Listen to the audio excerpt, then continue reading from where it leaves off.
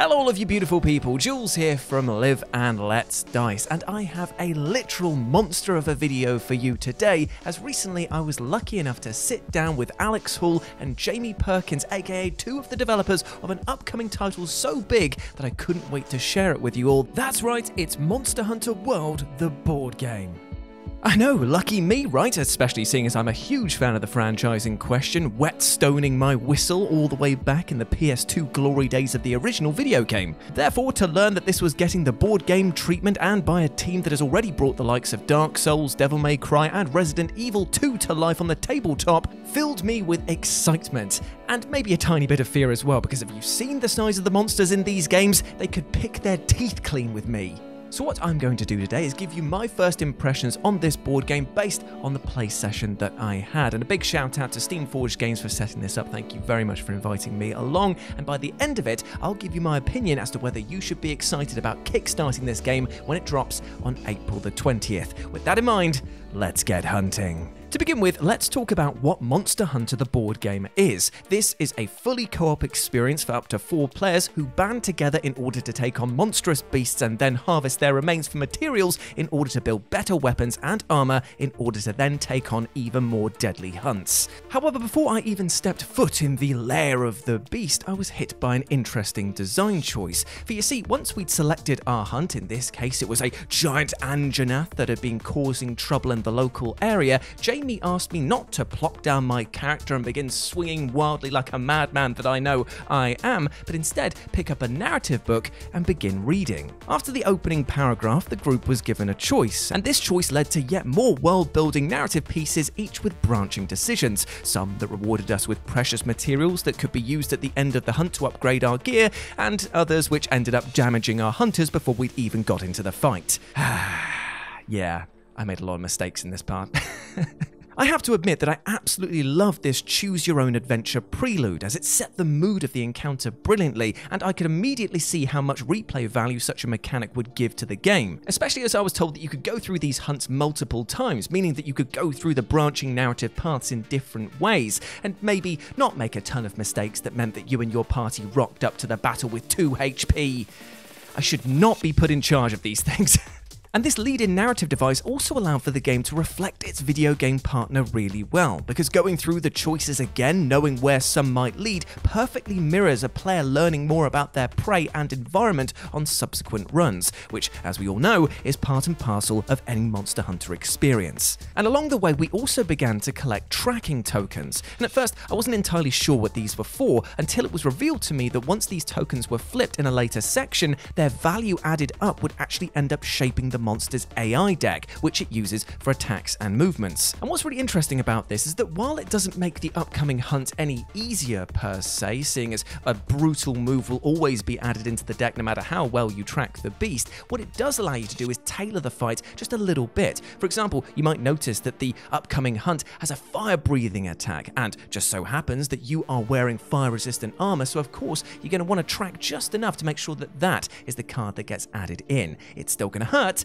but it's possibly going to hurt a little bit less. And trust me, when the fight actually started, it was so bloody brilliant. Now, there is a lot going on when it comes to combat in this game, so what I'm going to try and do is pull out the top features of it to really sell it to you. For a start, it's actually the monster that dictates the pace of the battle, because as soon as the fight begins, it activates first. And on its behavior card, you'll see indicators of where it will move, what damage it will do, and in what directions. And if you're a fan of the Dark Souls miniature game, you'll actually recognize the layout of the cards in question. However, if you look to the right of the card, you'll arguably see something even more important than the hit you're about to take in the face. These being the amount of hunter activations you have until the beast attacks again, and how many cards each hunter is allowed to play in their activation. I cannot express how much I adore this mechanic because it makes total sense. If a monster is slamming its body into the ground with all of its might, then of course the hunters are going to get a few more activations and attacks on it as it struggles back to its feet. And inversely, if it's charging directly at you, you're not going to have as much time to react and therefore have less activations and be able to play less cards in your turn. And speaking of having little time to react, after watching Alex get flung into the nether thanks to my poor choices leaving us all on low health, and him tanking the first hit of the battle, we were able to finally enact our revenge. And it was here that I gulped so loudly that I think my neighbours actually heard it, as this monster had a whopping 65 points of health. How the hell were we going to take it down? Well, my friend, with careful planning, teamwork, and a whole host of combo attacks. So each player draws 5 cards at the beginning of the battle, and each will show how many damage cards they can deal to a beast, how much damage it will block for them if they play it defensively, or how much movement it would offer them should they choose to play the card face down. Now at first, seeing how many different ways each card could be played was a little daunting at first, but once I understood the mechanics which were explained so well and made so much sense, it was maybe only one turn of combat before I was looking at my hand going, oh I can combo this together, I'll use this to move here, and then slam the beast right in its back backbone.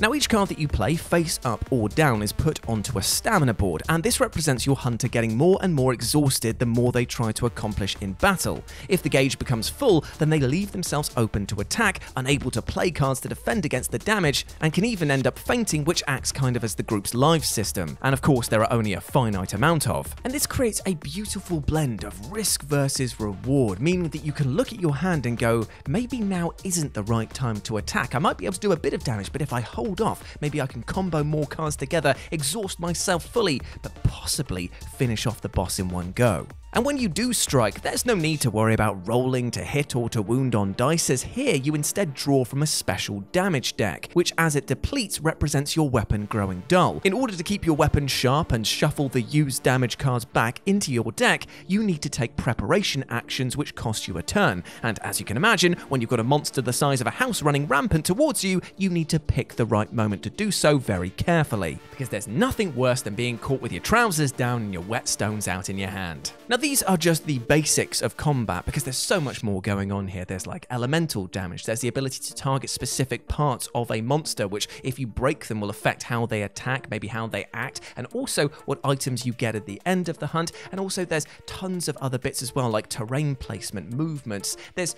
a lot going on. All of it though is brilliant, but I want to spend some time focusing on an area that I found very, very interesting, and that is the characters that you can play as.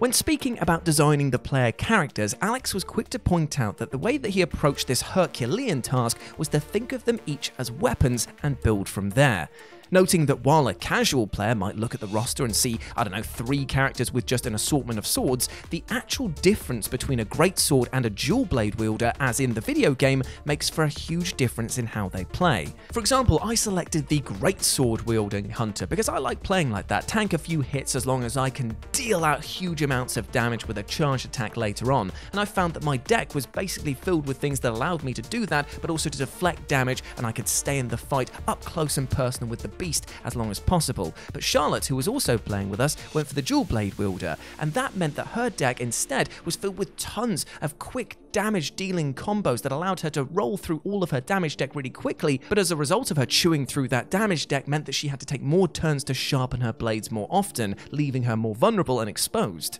Seeing these differences in action truly forces you to work together as a team, and soon enough you're choosing which hunter should activate first, how to provoke and manipulate the very wild game in front of you, and when to retreat in order to heal, sharpen, or simply set up your big next swing.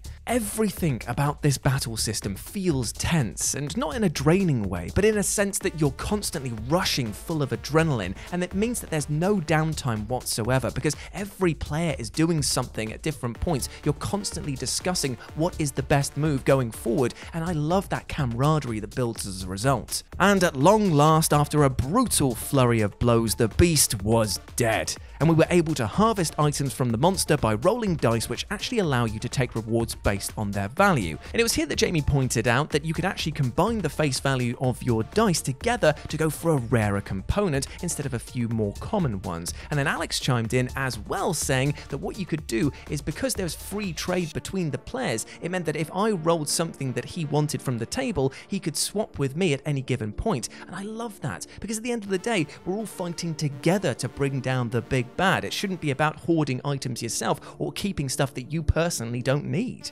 Again, it's a simple yet brilliant way to forge that co op mentality that is so thoroughly embedded in the video game counterpart, so it was great to see it realised here. And speaking of counterpart, Palicos are indeed here. If you fancy a little extra edge against your opponent, your team can draw one of these cute little critters at the start of the hunt to help you out in a pinch. Each of them provides amazing but one-time buffs designed to help you out when you truly need it, and I can see people backing this on Kickstarter just for the adorable artwork on these alone. All in all, I had an absolute blast with this game, and even though that some of the mechanics at first seemed a little bit daunting, within maybe one round of combat, we were all running rampant, destroying monsters with ease because they're so perfectly well realized and really simply explained. There's a lot to remember, but it's not difficult stuff to remember. And the use of the stamina gauge as well has to be applauded, as it's a really effective method of both empowering the player to unleash incredible combos, but also leaves them in a vulnerable state should they expend too much energy.